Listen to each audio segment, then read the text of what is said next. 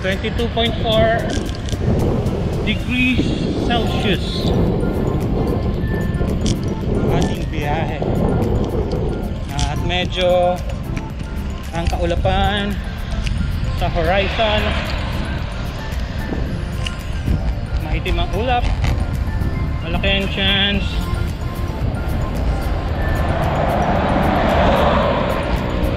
Malaki ang chance umulan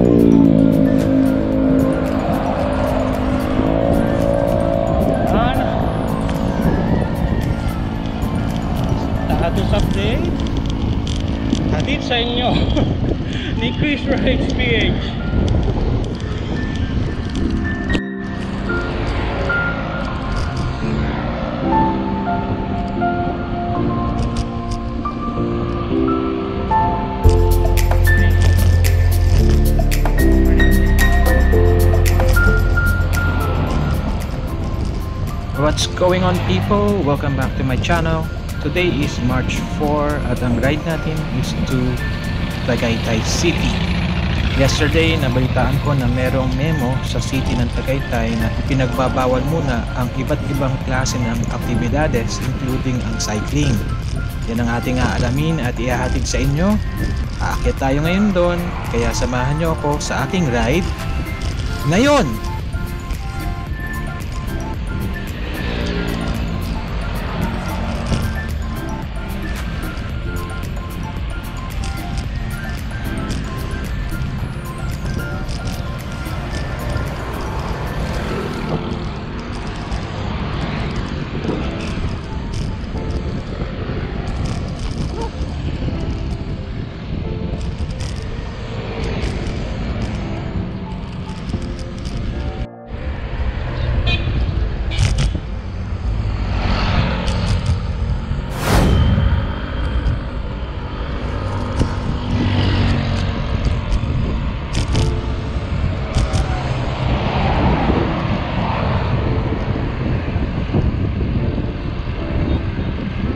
Ayun guys, maliwanag na. So, nandito na tayo sa silang.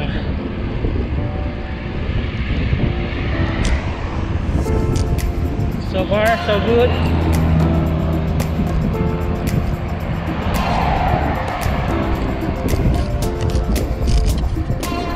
Smooth naman ang travel.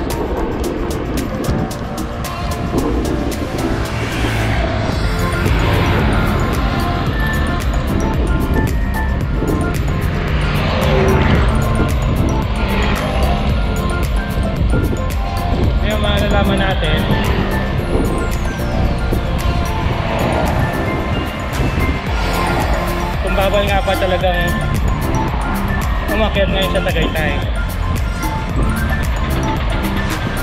Dahil kahapon nag-take effect yung pagbabawal ng lokal na pamahalaan ng Tagaytay simula March 3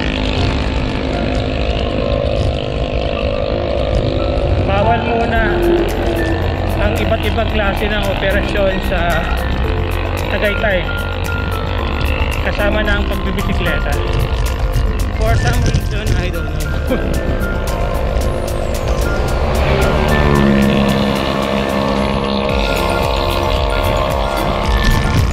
ang pagbibisikleta sa pagbabasketball.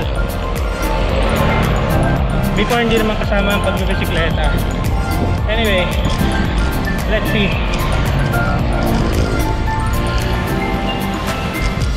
Ibalita ko sa inyo guys kung ano nga ba ang kaganapan banda doon.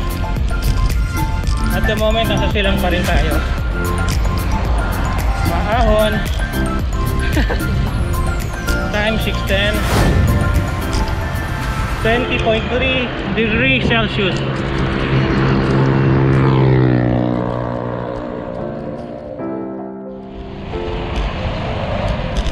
Nakikita nyo ahead, may hamog. Unfortunately, mukhang confirm ang checkpoint.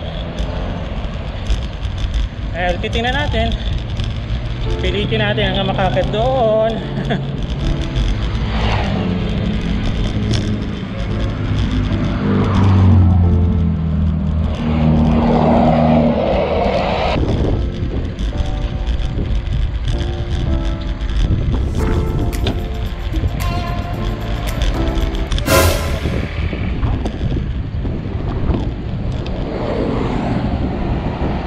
Bawal po. Dito. Pati po dun sa amin. weeks po.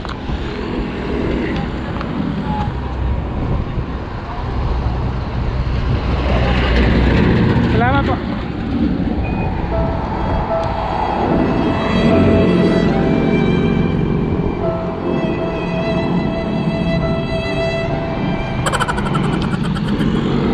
Guys, so pulis na ang umarang sa starting May, March 3 2 weeks. Wala mo nang pwedeng pumasok dito sa bypass road papuntang Tagaytay or paakit ng Tagaytay. So yun guys ah, hanggang dito na lang muna. So confirm bawal muna umakyat sa Tagaytay ang mga bikers kaya kung mapapanood nyo to the time na maipost ko tong vlog.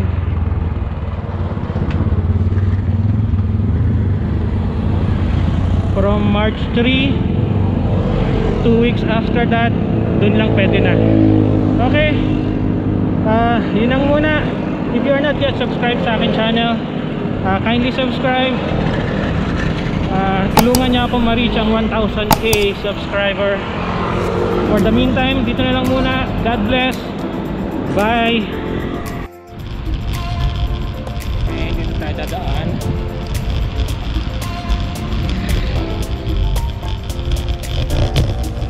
Papunta Amadeo